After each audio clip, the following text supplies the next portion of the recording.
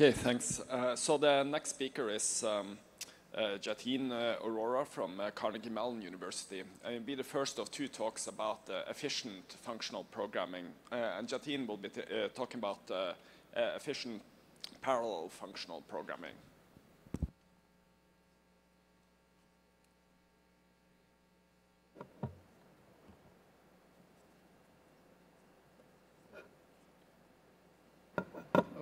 Okay, the audio, is any, everyone able to hear me? Perfect.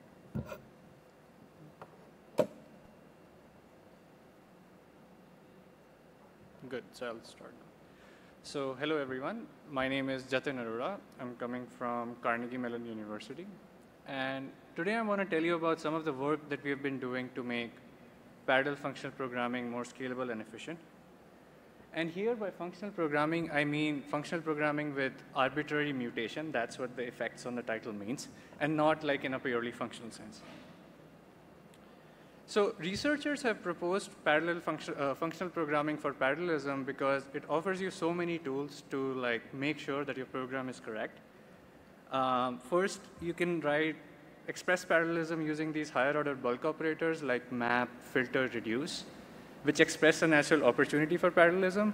And then you can like think of them as if they're, uh, for correctness purposes, you can think of them as if they're executing sequentially.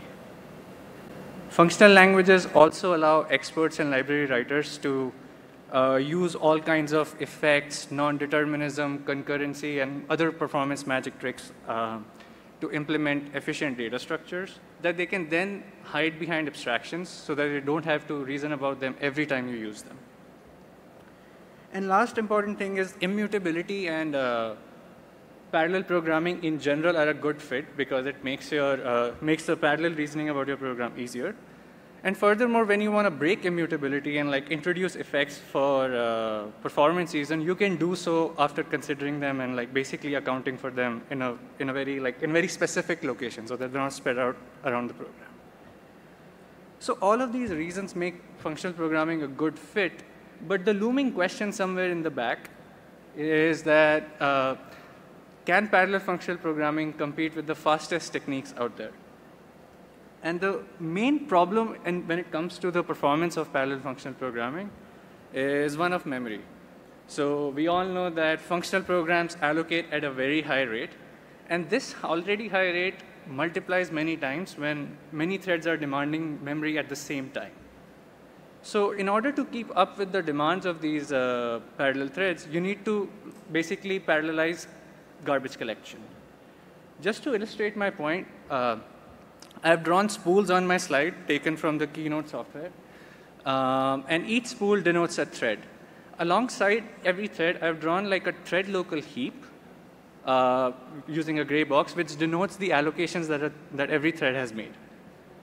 So now if the memory were this simple, we would have perfectly parallel garbage collection. And the reason is that each thread could independently collect its memory on its own, and we would, we would be fine. The problem is that in real life programs, you have these inter-heap pointers between these heaps, which introduce dependencies for garbage collection.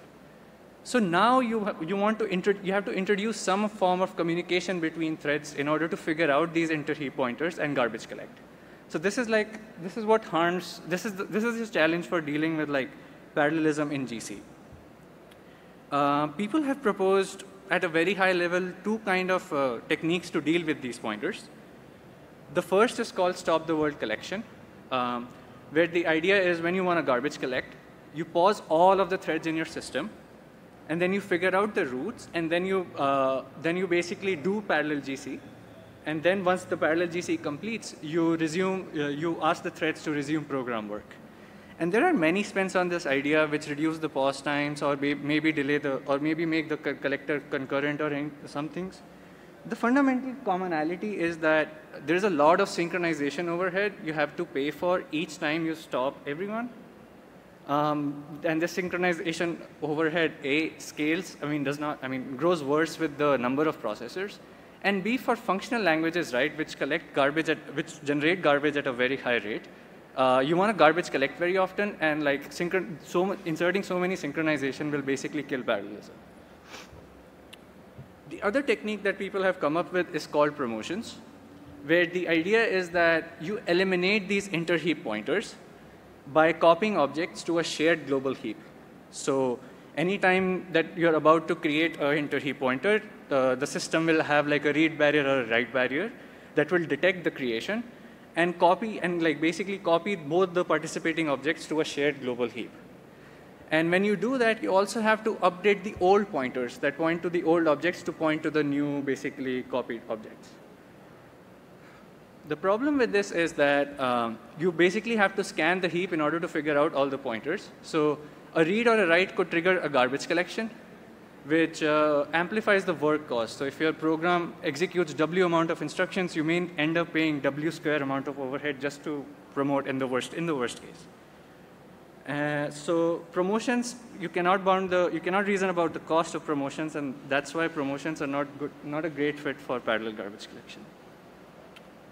So a fundamental, like the common thing between both these designs is they treat the world in a very flat way. But as I hope we all are comfortable with, is that the world is not flat. Um, so what we do in our design is we arrange these heaps in a hierarchical fashion. And the, so in Maple, uh, which is the language that we are working on, uh, we, we are focused on fork join programs. And what we do for fork join programs is that we arrange these heaps according to the spawn tree of the, spawn tree of the program. Um, the idea is that the internal nodes of this tree are suspended and the leaves are executing in parallel. So just to like illustrate all this, uh, I've drawn a tree on the slide.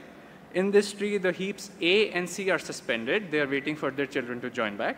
And threads B, D, E are executing in parallel. They are allocating memory in parallel. Okay.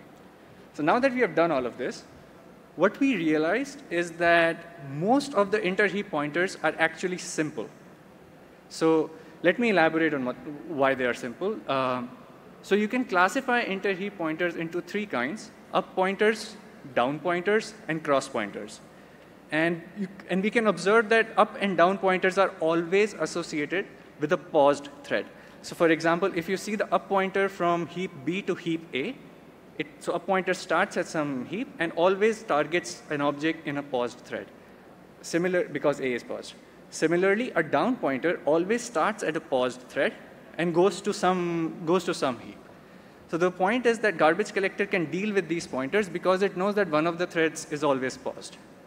Uh, and we, in our prior work uh, with Sam and Umut, uh, we have basically designed uh, provably efficient techniques in order to deal with these uh, up and down pointers. In this work, we focus on how to manage cross pointers, which are more challenging in some sense because cross pointers are between concurrently executing threads. Um, so it's more difficult for garbage collection because they may use the cross pointer to do something, like to maybe delete it or, in, or make more cross pointers or whatever. The first observation that I want to make with these cross pointers is that uh, the, the cross pointers are rare because in order to create a cross pointer, a thread needs to make a mutable update and another thread needs to read that mutable update which is a very rare programming pattern. It is used by, it is used by like people mainly for efficiency reasons, but because it's so difficult to reason about in general, because it has concurrency and non-determinism, it is used rarely. So most objects in, the, in this hierarchy uh, is, I basically do not have cross pointers. And then what we do in Maple is basically we track these cross pointers using read barriers, and then we pin the target. So in order to deal with them, we pin the target object of the cross pointer. So just the thumb pin on this basically box D shows that the object, the target object of the cross pointer is pinned.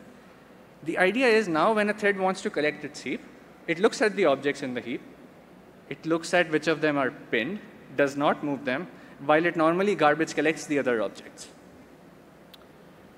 Another fascinating thing about these cross pointers is that they disappear after joins. So if you focus your attention on the cross pointer from heap E to heap D, when threads D and E join, it's going to disappear. Let me show you how. There's a lot going on in the slides. All I wanted you to focus on is the cross pointer from E to D. So suppose that, uh, suppose that heap, uh, threads D and E join. What we do in our system is we track that join and we merge the heaps of D and E with its parent C. So now the cross pointer has just basically disappeared And this is the idea. The idea is that you pay a one-time cost for pinning the target of the cross pointer, and then you wait, and, and then basically when, when, when threads join, it automatically, the, all of the overhead of having cross pointers just disappears. Uh, so we have implemented all of this in the Maple compiler for parallel ML. For people who are familiar with Maple, Maple only used to support disentangled programs, which is programs which only contains up, uh, which only contain up or down pointers. But now with this uh, paper, we have modified Maple to accept all programs with arbitrary, all fork join programs with arbitrary mutation. And we really wanted to answer this question, well, how close like a functional garbage collected language like Maple can come close to like, um, or like manually memory managed language like C++. So what we did to get a full-scale picture is we implemented eight benchmarks in five languages, uh, like C++, Maple, Go, Java, and OCaml. And I'm showing you the results of that comparison by stacking the times of all the benchmarks on like one. So basically, in this plot, the y-axis represents the time to run all the benchmarks, and the x-axis represents the languages. And this runtime, it's taken on 72 cores. Uh, a few observations. So actually, Maple comes really close to C++. Its running time is less than within factor 2 of C++, which is great because these codes are implemented by the ParlayLib project, are ported from the ParlayLib project, and they're some of the fastest parallel codes out there. Uh, and then Maple runtime is fast, two times faster than Go and Java, which are state-of-the-art procedural languages, and 6x, which are also automatically memory managed, and 6x faster than OCaml, which is a, a parallel functional language. Let's also look at the space numbers to get like a full picture. So the idea is the same. Uh, on the y-axis, I plot the space it takes to run all the benchmarks, and on the x-axis are the languages. And we see that Maple space comes really close to C++ and Go, which is great because it tells us like the parallel garbage collector is collecting all of the allocations that this functional language makes. And Maple space is also less than three times OCaml and Java. Now, the takeaway from this evaluation is not to nitpick between the languages. It's just a simple takeaway that if you have the right garbage collector, parallel functional programming can compete with the fastest codes out there. So I just want to um, talk more, a little bit more about how we manage cross pointers, returning back to that heap hierarchy. So the idea is that we, so we manage cross pointers by, in terms of these things called entangled objects. An object is entangled if it is a target of a cross pointer. So, recall, so we, what we do is we track and pin entangled objects with the idea that a thread can, when a thread wants to collect its heap, it looks at the entangled objects, does not move them, while it copy collects or gar normally garbage collects other objects in the heap. And what we do to track entangled objects is we use a read barrier. So recall that in order to create a cross pointer or an entangled object, a thread has to make a mutable update, and then another thread has to read it. So we track, the, we, we track each read of the program and basically track entangled objects. A very important optimization for this design is that we only use read barriers on mutable objects. Now, so basically, there are no read barriers on immutable objects, which is very important for efficiency because most of the reads of a parallel functional language runtime are on immutable objects. Now, there are more details on how we skip read barriers on immutable objects in the paper, and I, I don't think I'll have time to go into them. Uh, but when, when a thread now wants to garbage collect, we also implemented a lock-free collection algorithm to like account for concurrent pinning. So what might happen is as you garbage collect, you know a set of pinned objects at the start of collection, but some other threads might come in and pin new objects. So you want to have to deal with that concurrency. And these details I'll defer to the paper. Please read it. Uh, so an interesting challenge is, well, how do we manage or reason about the overhead of uh, basically managing these entangled objects? And to account for this, we proved a theorem which says that the total work of managing entangled objects is order epsilon, where epsilon is the total size of entangled objects. Um, the main takeaway from this theorem is that entangled objects, if you have them in the system, you pay a one-time cost, which is for pinning, and then it doesn't matter how many times you read them, how many cross pointers you make to them, there is zero cost. And the second observation to take away from this theorem is that disentangled objects pay zero overhead. Uh, which is because and which is great because like most of the most of the objects in your program are going to be disentangled. And just to test this out, we implemented a synthetic benchmark, in which the number of instructions the benchmark uh, executes is the same, but we could vary the amount of entanglement it creates. So the y-axis shows the time to uh, basically run this benchmark, and the x-axis shows the amount of entanglement the benchmark creates. And we can see like the time for benchmark scales linearly, which confirms the theorem basically, that the overhead is linear. Okay. So uh, we also wanted to test the efficiency of Maple on other benchmarks. So we have a parallel benchmark suite of around, uh, of a very good number, I think 26. Um, so, and some of these benchmarks are taken from graphs, uh, graph algorithms, some of them are numerical algorithms, some of these are actually concurrent data structures. And Maple gets good speedups. It gets an average speedup of uh, 30x on 72 cores. Um, I have highlighted some of them in green. So these green ones are entangled, and the blue ones are disentangled. And on average, we get 30 speedup. Uh, again, the takeaway from this slide is that if you were to write these benchmarks in C, C++, you would get similar speedups. I want to end by saying like a one-line summary on why, maybe more than one lines, but like want to give you a quick summary on why Maple performs so well. It is because we tie the GC to the program. So what Maple does with its heap, heap tree architecture is that it gives the garbage collector information about the function of interheap pointers. So when, when we are garbage collecting, we know that a pointer is generated because of this reason, a down pointer is generated because of this reason, and a cross pointer is generated because of this reason. So the garbage collector is able to account for them differently and handle them very efficiently. Um, yeah, that's all I had to say. Any questions?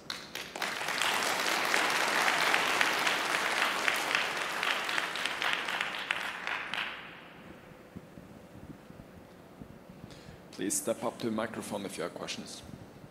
Hi there. Um, thanks for the very clear talk. This is uh, Adrian Sampson from Cornell. I was just curi curious in the results, it was surprising to see that the space overhead with respect to C++ was essentially nil.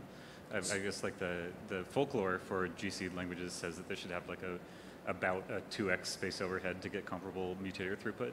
I guess I was curious, like, are we, is that folklore wrong, or maybe it's wrong in this parallel programming setting, or maybe we're measuring footprint differently? I'm just curious where that came from. That's a great question. So uh, this is like the max residency. Um, and this C++ allocate, the allocator in C++ was actually the allocator that Parallel, the authors from ParlayLib wrote. Um, and they really optimized for time efficiency.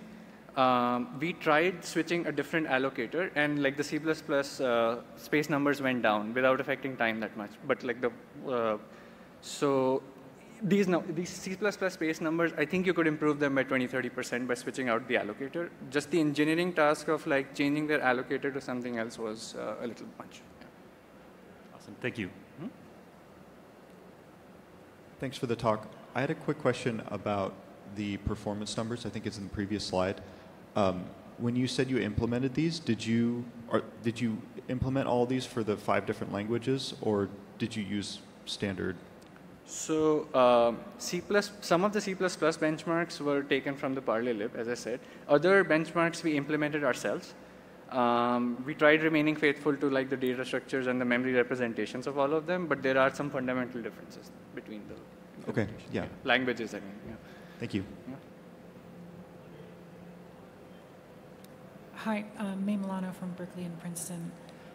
I'm having a little trouble telling from this graph, but are there any particular benchmarks where MPL is not doing significantly better than Go Java and OCaml, or is it an improvement across the board? I think it's across the board. If I, uh, I can have the numbers just one second. I hope I have the numbers.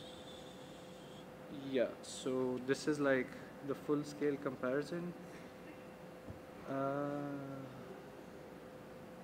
yeah, I think it's roughly across the board it does better. Sometimes space fluctuates here and there, but yeah.